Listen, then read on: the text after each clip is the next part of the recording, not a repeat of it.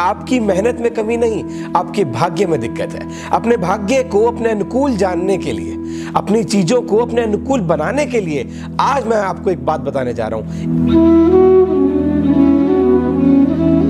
अगर आपकी ज़िंदगी में पैसे की कमी है, पैसे के उतार चढ़ाव चलते ही रहते हैं तो यकीन मानिए कहीं ना कहीं दिक्कत आपके अंदर नहीं, आपकी कुंडली में है।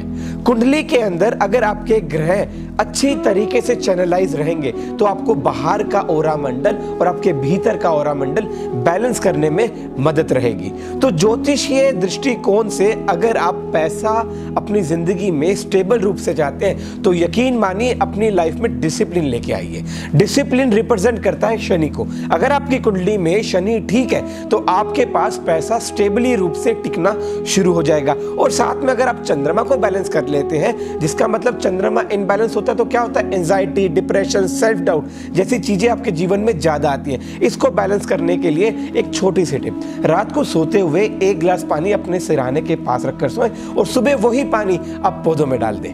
हरिओम।